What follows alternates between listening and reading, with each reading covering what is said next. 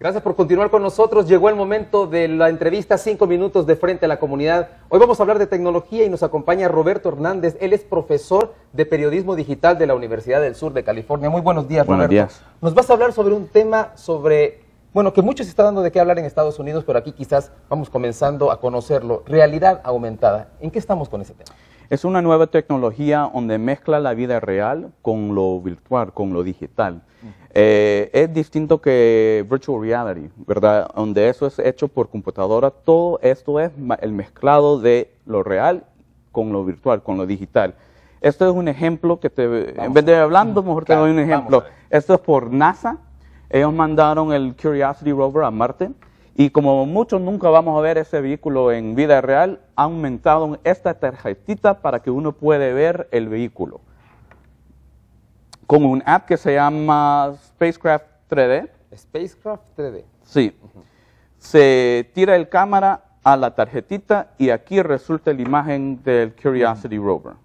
Bueno, que muchos vemos nada más a veces en las noticias, aquí podemos ver hasta cómo funciona. cómo funciona, se puede ver, eh, se puede manejar un poco, se puede ver de distintos ángulos, todo hecho realizado por esta tarjeta y la tecnología de augmented reality. Ahora, ¿cómo puede impactar esto en el periodismo, Roberto, pero también en otros ámbitos de la educación? Sí, el- el- la realidad aumentada tiene muchas aplicaciones. Eh, se ve ahorita en forma de ciencia, eh, ah, astronomy, eh, computación, pero yo estoy buscando en forma de periodismo cómo uno eh, puede conectar con notas en forma distintas. Estamos en un mundo donde todos tienen teléfono, la mayoría tiene sus smartphones y cada smartphone tiene unas eh, piezas claves para aprovecharse de la realidad aumentada. Primero, tiene cámara, entonces eh, el aparato sabe que está viendo. Tiene el GPS, entonces el aparato sabe a dónde estás cuando lo estás viendo y tiene conexión al Internet. Esos tres juntos te dan algo bien poderoso, donde puedes poner eh, en una tarjeta, puedes poner video, puedes poner... el, el- el Curiosity. Se puede poner video, se puede poner audio, se puede poner eh, fotos. En, en este caso estamos poniendo eh, un modelo 3D. Y aquí, como he dicho, eh, se puede trabajar en ingeniería, donde alguien se puede poner gafas. El futuro es eso, alguien se pone gafas ah, y puede ver eh, sus herramientas aumentadas.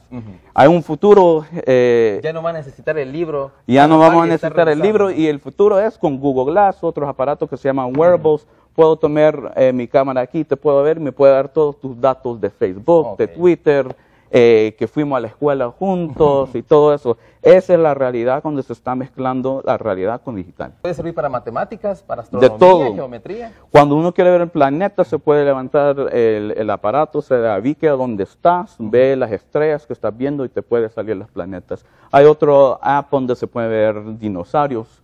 Eh, hay variedades que están saliendo. Esta es una tecnología nueva, entonces apenas estamos empezando a ver las aplicaciones. Eso te iba a decir, como esto es nuevo, ¿cómo ves tú la respuesta de los, de los alumnos, en este caso, que están allá en la universidad? Están eh, admirando la tecnología y tienen hambre para, para devolverlo, para desarrollarlo más.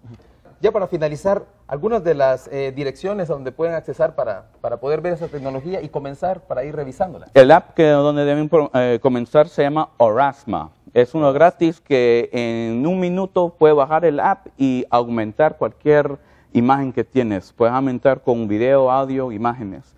Eh, y hay otras plataformas que existen. Uno es, ah, se llama Junayo, hecho por una compañía alemana que se llama Metaio. Y otro final que se llama Layer, L-A-Y-A-R. Eh, esos son eh, plataformas para crear augmented reality y consumirlo también. Bueno, y estás en el país gracias a nuestros amigos de T-Box. ¿Cuánto tiempo vas a estar acá en El Salvador? Eh, unos dos semanas más. Ok, bueno, vamos a poder seguir hablando de esto Sí. tras cámaras. Te agradezco mucho, Roberto. Gracias por estar con nosotros acá en Frente a la Comunidad. Y hasta aquí podemos llegar. Gracias a todos ustedes por acompañarnos. Bendiciones. Nos vemos la próxima semana. Gracias, Roberto.